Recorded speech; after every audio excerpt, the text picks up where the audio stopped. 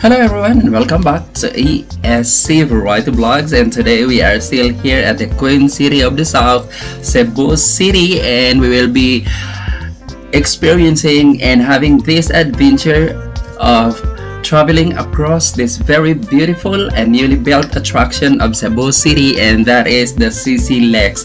Yes guys, yung nasa itaas na po natin now is the newly built CC Lex which is now considered as the longest bridge in the Philippines and why it is considered na pinakamahabang tulay sa buong Pilipinas ngayon ay matutunghayan nyo po yan maya maya as we will be traveling across this one and bago natin ito tuluyan I would like to shout out to my friend na talaga namang napakabait at talagang nag-volunteer na i-drive ako to just have this experience here in CCLEX here in Cebu City. And yun nga lang hindi natin pwede siyang i-shout out the name it.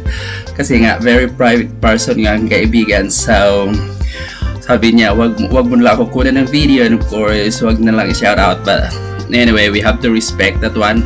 But still I would say thank you very much for giving me that time na maipasyal ako dito sa CCLX and our friends who will be watching this video of course could see how beautiful this bridge is. And kung makikita nyo guys we are already here fronting the SMC side of Cebu. And from the reclamation road kasi guys we need to come here at the seaside SM so we could have a urine slot kasi hindi pwedeng doon doon tayo mag U-turn at walang slot doon for U-turn. So we really have to come in here. Ayun naka U-turn na po tayo. And lucky because the traffic is not that heavy. And maya maya lamang ay sisimula na tayong aakyat dyan. And you can see the beauty of this bridge really as in ginastusan talaga ito ng gobyerno. And congratulations naman and shout out because this is one of the program na talaga namang sinasaluduhan ng buong mundo ng buong Pilipinas ang ating PRRD dyan, ang ating President Rodrigo Roa Duterte of Davao City na talagang naituloy ito. But of course, this project was um, planned already before long time ago pero nung panahon ng ating Pangulong Duterte siya po na materialize and luckily because it's not very easy to travel from Cebu City and Cordova because this place guys this bridge is connecting Cordova and Cebu City. So makikita nyo kung gaano kahaba yung ating biyahe. Actually hindi ko talaga pin pinutol at hindi ko talaga inedit itong video na to. So you can see the total length of the bridge and how long we travel across this bridge. At ito nga paakyat na tayo. So when I traveled this bridge there is really one question that came into my mind. Sabi ko ba't kasi pinaikot-ikot pa yung bridge? But ba't pa kasi hindi na lang ginawang straight? O di ba? Kapag ka straight medyo nakatipid sa, sa mga gamit nakatipid sa budget. But of course I am not an engineer.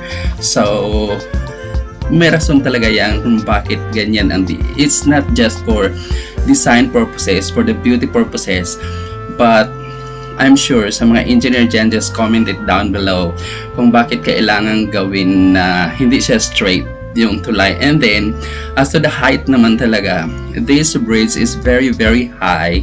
And imagine ko nga when I was here, ito na yung pinakataas niya guys na part. Kaya paakyat tayo ng paakyat.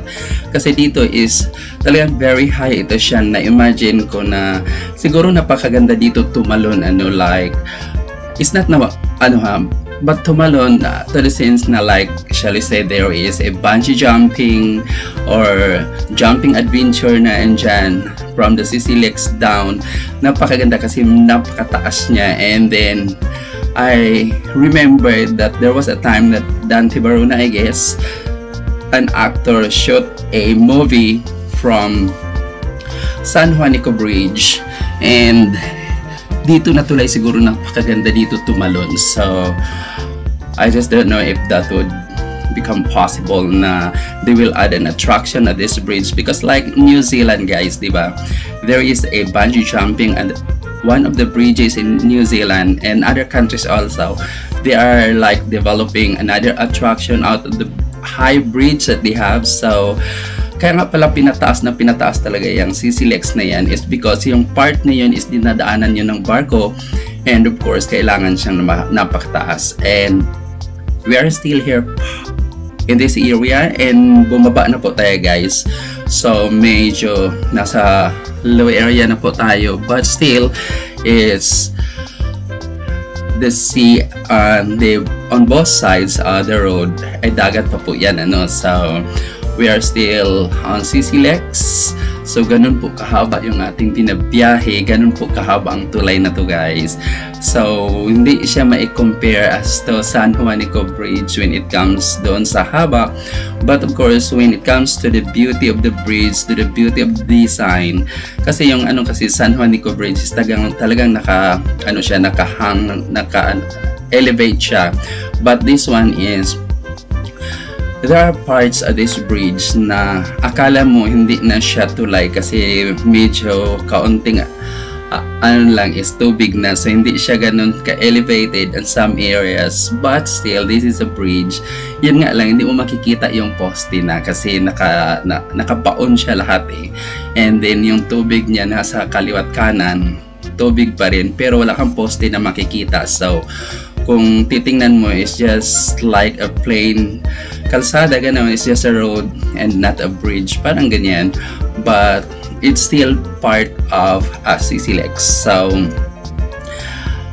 tingnan mo kanina pa tayo naglalakbay but still we are here at talagang tuloy-tuloy pa yung ating uh, takbo dito and it is very very clean. So sabi ko nga Siguro kung inaalaw lang yung mga jeepneys to pass in here from Cordova to Cebu City, then people from Cordova could easily go to Cebu City. But until this time when I went there, hindi pinapayagan yung mga jeepneys, yung mga nadadaan dito. So it's just the private vehicles ang pwedeng dumaan. As to the reason of why not allowing those public utility vehicles to pass this CCLEX hindi ko talaga alam. So if you know the reason why then just comment it down below kung bakit hindi sila pinapayagang dumaan dito. Anyway magbabayad naman sila diba so that is another income pa sana sa owner of this CCLEX because this is a private uh, bridge guys. So whoever will pass in here should pay. Uh, toll, toll pay. So kahit sana ipadaan yung mga public utility vehicle so that would be more income for them. But yet still they did not allow those vehicles to pass. Kung anong rason yun na nga i-comment nyo below. And then also in the past they only allowed motorcycle that is 150cc up to pass this bridge.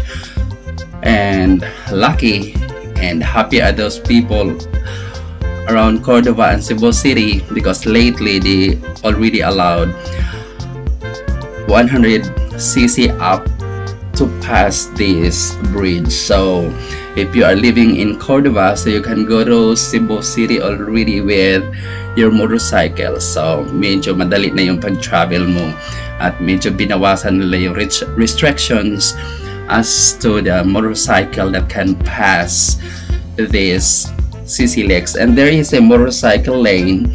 And I just don't know I forgot to ask if bicycles are allowed like mountain bike are allowed but I guess not because wala akong nakita when I passed the CC Lex. So this is the place where you have to pay and I appreciate the design of the toll gate guys because hindi siya doon sa part ng Cebu City wherein kung doon siya nilagay, makakreate siya ng traffic. But since dito na nilagay bandang Cordova, so lahat ng mga vehicles na coming into Cordova is dito na magbabayad approaching Cordova. So, yun ang mapapunta ng Cebu City. So, dito sila nagbabayad before entering. So, pagdating ng part ng Cebu City is talagang flowing lang yung traffic and wala nang hihinto because magbabayad pa which is the design really is great and kudos to the engineers and kudos to the planners and to the owners of this expressway in this bridge so akala natin tapos na tayo because we paid the toll toll pay already but no guys because we still have to travel because it's like we are three fourths pa lang dito sa CCLX nating binabiyahe sa ngayon. And thank you really to my driver to my friend who drove me to this adventure. And actually may pupuntahan pa ako na isang place here in Cordova which is also very beautiful. But of course I'll be doing a separate video for that because this video is purposely just for us to see the beauty of the CC Legs, yung full length ng uh, tulay na to na talagang napakaganda, napakalaking tulong na ibigay to the people of Cordova and other places in this side to Cebu City also na talagang nakabawas ito ng traffic because there are other way naman guys to come to Cordova and Cebu City but itong talagang CCLX is napakalaking tulong ang naibigay. And napakaganda pa that it adds attraction like me, a tourist here in Cebu City. So I have to come in here. And of course, it is an income for the drivers.